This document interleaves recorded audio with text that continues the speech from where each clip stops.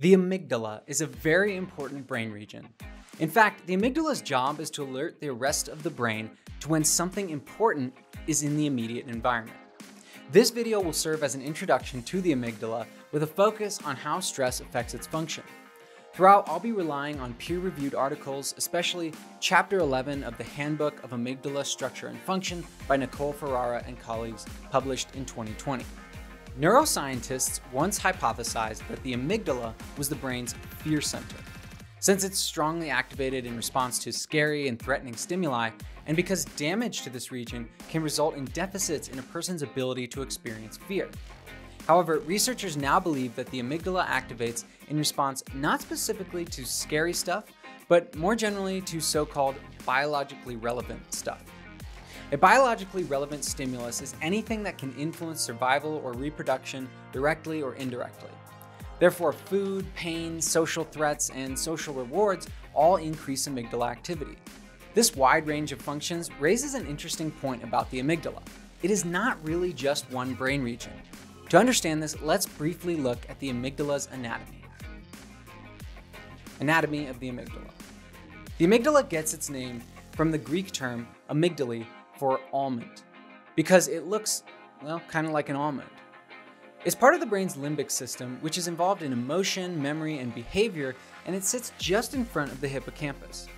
The amygdala connects to many brain regions, including the prefrontal and temporal cortices, the hippocampus, basal ganglia, hypothalamus, and thalamus. Also called the amygdaloid complex, the amygdala is composed of 13 anatomically distinct nuclei.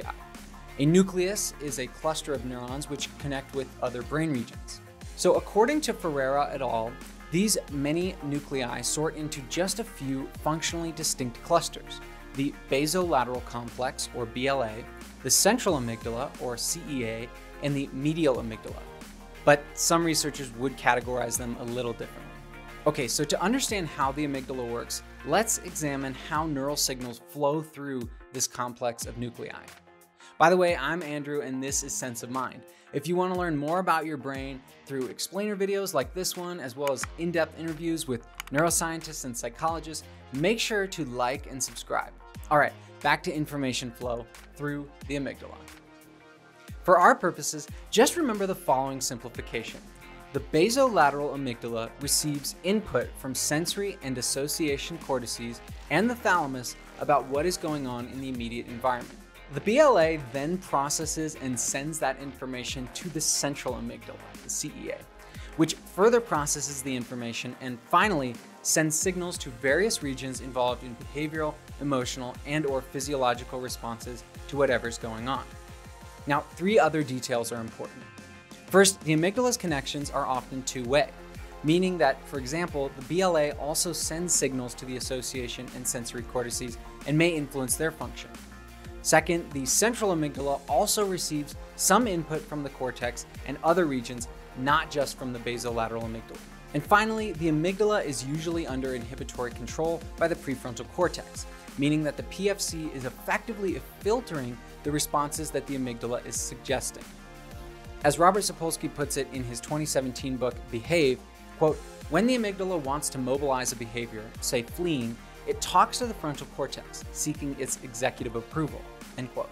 But Sapolsky notes that when under stress, the amygdala may bypass this approval process and directly activate a response. This brings us to a broader question. How does stress affect the flow of information through the amygdala? And what does that do to our emotions and behaviors? Fight or flight, stress, and the amygdala. The fight or flight response is a physiological reaction to stress, which includes increased heart rate, blood pressure, and mobilization of energy into the bloodstream, all of which are helpful in either fighting off or fleeing from a threat, like a mugger in the street, for example. Importantly, however, the fight or flight response activates not only as a reaction to immediate physical danger, but also to more abstract social threats. For example, you may experience it upon learning that your retirement fund was just destroyed by a market crash, or that a war just broke out overseas. The amygdala triggers the fight or flight response, causing the release of stress hormones and neurotransmitters throughout the body and brain, as well as increased activity in the sympathetic nervous system, or SNS. The SNS is the branch of the autonomic nervous system that promotes immediate action right now, as opposed to the parasympathetic nervous system, which promotes relaxation and related processes like digestion and sleep. Thus, this system is adaptive when you face acute stressors, like when you need to run away from that mugger. But for chronic psychological stress, for example, living in a neighborhood where mugging is commonplace, or having a particularly mean and micromanaging boss, that can contribute to health problems, with digestive issues being particularly common. Now, earlier we noted that the PFC's ability to inhibit the amygdala can be diminished during acute stress. More generally, acute stress seems to amplify the amygdala's ability to influence our behavior by facilitating the flow of information from the basolateral amygdala to the central amygdala. It also seems to make the amygdala more reactive in the first hour after the stressor. When this occurs, the response triggered by the amygdala is faster, but it's also likely to be inappropriate for the situation. In Behave, Robert Sapolsky suggests that this could lead someone, say a police officer, to mistake a cell phone for a gun, leading the cop to shoot first for fear of himself or maybe an innocent bystander being shot first. Likewise, chronic stress enhances amygdala activity. And with chronic stress or severe childhood stress, the amygdala reacts to a greater range of stimuli. As Ferrara et al. explain, quote, this non-filtering of unimportant stimuli may lead the amygdala to treating all stimuli as important and worthy of a response. End quote. The symptoms of post-traumatic stress disorder, or PTSD, result partly from traumatic experiences that teach the amygdala to be hyperreactive. Okay, let's take a step back and talk about how the stress-induced hyperreactive amygdala may have affected your life through what is sometimes called amygdala hijack. Have you ever exploded with anger in response to something relatively minor, like experiencing road rage when you run into unexpected traffic on your commute to work, breaking something in a fit of extreme anger, or saying something nasty to someone who didn't deserve it? I know I have, though I'm not proud to admit that. To describe such aberrant emotional behavior, in the 1990s, the psychologist Daniel Goleman coined the term amygdala hijack. To be clear, this idea is, as Goleman himself has said, a very simplistic model of how the brain works, and it should not be taken as perfectly accurate nor comprehensive. It is, however, a useful heuristic for thinking about those moments when we almost seem to turn into different people and do things that we later regret. Now, the idea is simple. There are times when the amygdala initiates the fight or flight response and it's very difficult for the frontal cortex and the rest of the brain to rein in the often destructive behavior that ensues.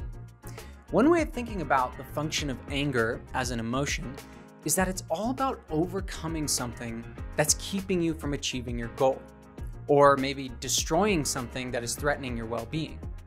You might speed recklessly through traffic when you experience road rage, or throw your phone into a wall after having a very frustrating discussion with someone, or insult somebody simply because you know it will hurt them. None of those responses are particularly rational, and you will undoubtedly regret them later. But in the moment, they may feel like they were the right thing to do. That is the amygdala hijack in action. It's the amygdala bypassing the prefrontal cortex and persuading the rest of the brain to attack, destroy, escape, or otherwise overcome the immediate source of stress. Okay, up to this point, we have only discussed the amygdala in the context of danger and stress. But as I mentioned at the beginning, the amygdala's job may be to signal the presence and help select a response to any biologically relevant information, not just the kind that produces fight or flight responses. For example, in monkeys, the amygdala activates in response to socially relevant information, such as faces and especially to emotional facial expressions. It also seems to fire more in response to faces of familiar monkeys. And in experiments with humans, it's been shown that the faces that are most relevant, so in the context of an experiment, that would probably be an experimenter, the person telling you what to do and helping you through the task, pictures of those faces tend to activate the amygdala more than even familiar faces to the person, so people that they know from their family and definitely more than unfamiliar faces. So it seems that the amygdala is activating in response to what is the most relevant social information for the moment. Yet, the amygdala's function may be even more general than that. Let's see why. The amygdala and biological relevance prediction error signals. In some ways, the amygdala appears to be a prediction error detector in the brain. Specifically, it may signal to the rest of the brain when something is unexpected and relevant to the animal's survival or reproduction. Now, the brain is constantly predicting what kinds of things the organism is likely to encounter. But these predictions need to be tested by comparing them to data coming in from the senses. Now, that difference between what the brain expects and what is really out there is called a prediction error. I've talked before about how the dopamine system is involved in a specific kind of prediction error called reward prediction error. So check out those videos if you're interested.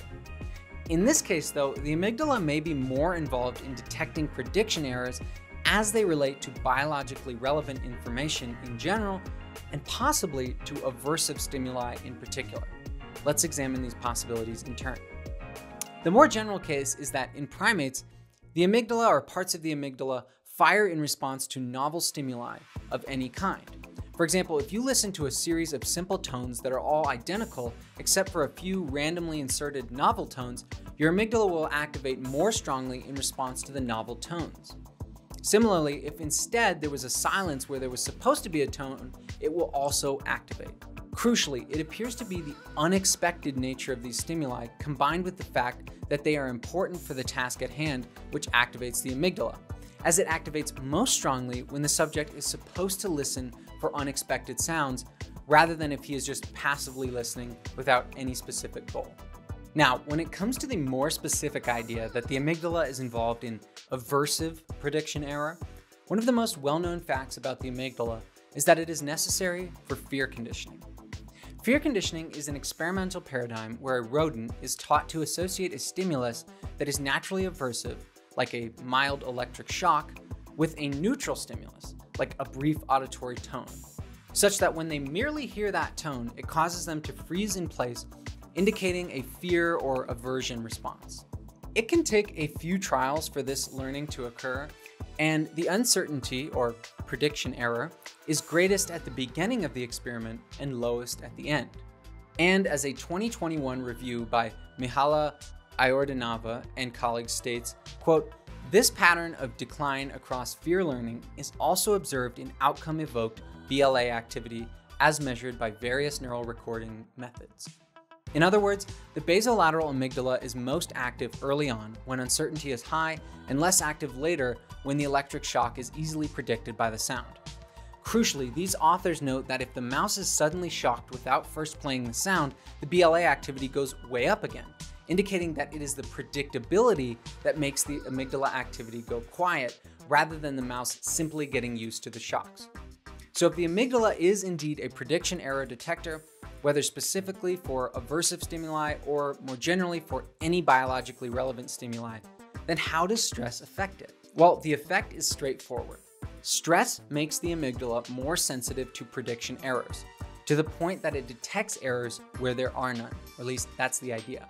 In other words, stress, especially chronic stress, would make the amygdala rather like the boy who cried wolf, screaming wolf at the top of its lungs, not only when there is real danger or other important information, but also when there is little sign of it. But unlike the townspeople in that story, who, after only a couple false alarms, decided not to listen to the boy anymore, which left him helpless and caused his sheep to be eaten when the real wolf came, the chronically stressed out brain has little choice but to listen to the wolf crying amygdala and respond as if it's telling the truth. This process may be at work in PTSD and other anxiety disorders, as that's just kind of another way of saying that the amygdala is hyperreactive.